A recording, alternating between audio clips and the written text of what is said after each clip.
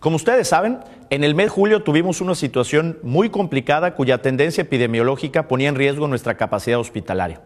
Por ese motivo fue que implementamos una serie de medidas las cuales han funcionado gracias a la participación de todos los yucatecos, lo que hoy nos permite tener tres semanas consecutivas con significativos descensos en nuestros indicadores. Por ejemplo, los casos positivos diarios han bajado en un 48%. El promedio de ingresos hospitalarios bajó un 34% y la ocupación hospitalaria bajó también un 34%, lo que se traduce en que todo nuestro sistema estatal de salud tiene ya una mayor capacidad y mejores condiciones para atender a todos los que así lo requieran. Debido a esta grave contingencia, durante todo este tiempo mucha gente se ha quedado sin empleo o ha visto mermado o comprometido su ingreso y necesitan oportunidades para salir adelante.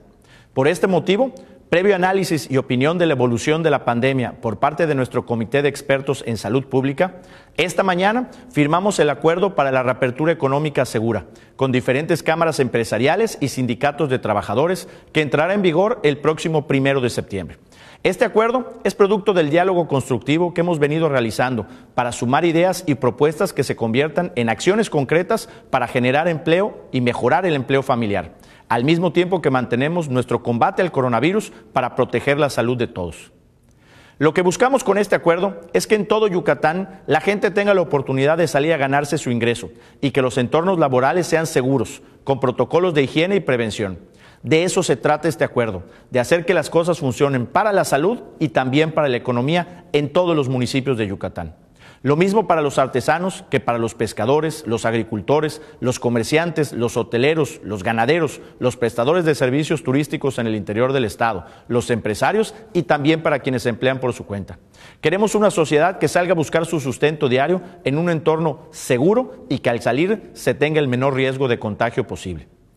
Este importante acuerdo llega a tiempo pues aún tenemos un camino que recorrer juntos para derrotar al coronavirus, que como bien sabemos es altamente contagioso y mortal. Ese camino está entre el día de hoy y muy buena parte del año 2021, en el cual, si todo resulta favorable, los mexicanos podremos contar con una vacuna de acceso universal. Ahora bien, este gran acuerdo para la reapertura económica segura tiene cuatro pilares indispensables para su éxito. Primero, la responsabilidad individual mediante el uso permanente y obligatorio del cubrebocas, sana distancia y lavado de manos.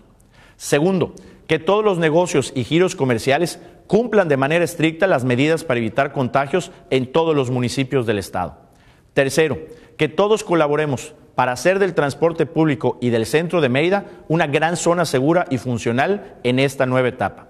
Y cuarto, el monitoreo permanente de indicadores del semáforo estatal de salud como guía indispensable que nos seguirá indicando cuándo tomar nuevas medidas en caso de que se llegue a ver comprometida nuestra capacidad hospitalaria.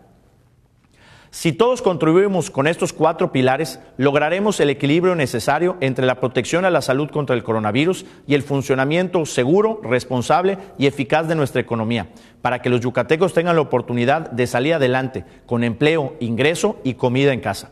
Las principales medidas y acciones acordadas que entrarán en vigor para promover el empleo y mejorar el ingreso familiar son las siguientes. Primera, apertura de centros comerciales y cines de lunes a viernes y actividades relacionadas con los servicios turísticos a partir del primero de septiembre. Segundo, implementación del plan de mejora de movilidad urbana para el centro de Mérida que favorecerá la ampliación de los espacios peatonales seguros y la reubicación de paraderos para evitar aglomeraciones que serán presentados este próximo lunes 31 de agosto. Tercero, apertura de librerías, museos privados, galerías de arte, gimnasios y centros deportivos y espacios al aire libre para el desarrollo de deportes que no sean de contacto ni de conjunto y recorridos turísticos a cenotes y haciendas a partir del 14 de septiembre. La apertura de zonas arqueológicas se realizará en cuanto se cuente con el aval del Instituto Nacional de Antropología e Historia. Cuarto, apertura de los servicios religiosos a partir del 15 de septiembre. Quinto, los restaurantes podrán operar de miércoles a domingo a partir del 16 de septiembre en servicio de comedor. Toda la semana podrán vender a domicilio o en ventanilla. Sexto, ampliación del horario de las medidas para reducir la movilidad vehicular nocturna en el Estado de las 23.30 horas a las 5 de la mañana a partir del 17 de septiembre. Séptimo, Los comercios, industria manufacturera no esencial, sector de la construcción y servicios de profesionistas tendrán modificaciones en su calendario de operaciones. Octavo, apertura de congresos, convenciones y reuniones de negocios con aforo limitado y gradual a partir del 12 de octubre.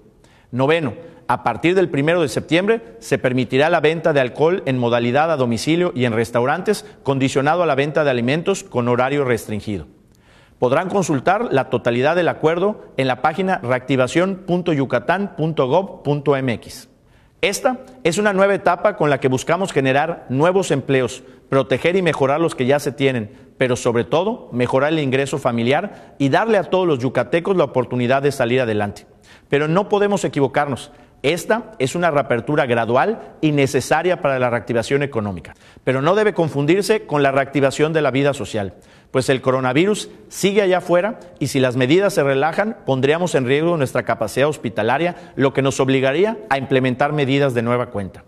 Es por eso que la parte principal para que esta reapertura económica sea segura para todos es que todos aportemos nuestra responsabilidad individual, utilizando siempre cubrebocas, guardando la sana distancia y lavándonos las manos frecuentemente. Así de sencillo. No desperdiciemos esta gran oportunidad, sigamos cuidándonos y trabajando siempre, unidos como uno solo. Juntos, transformemos Yucatán, Gobierno del Estado.